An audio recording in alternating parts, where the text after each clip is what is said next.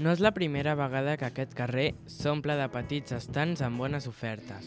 Roba, menjar, perfums, jocs o pel·lícules.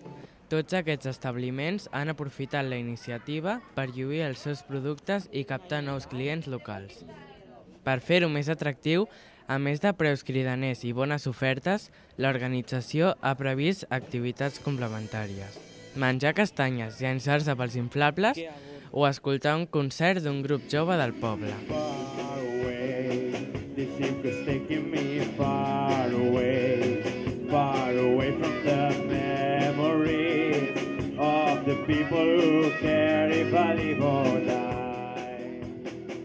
Es diuen subterrani perquè és en un magatzem soterrat on assagen les seves cançons. Bateria, guitarra, baix, teclats, violí i veu són els seus instruments per cantar temes en català i fer covers de cançons com Doctor Doctor.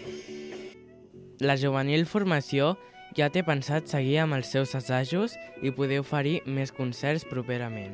Amb la música d'aquesta colla, la passejada entre petites botigues de carrer va ser més animada i es va arribar fins al moment de l'entrega de premis de la ruta del Pinxo.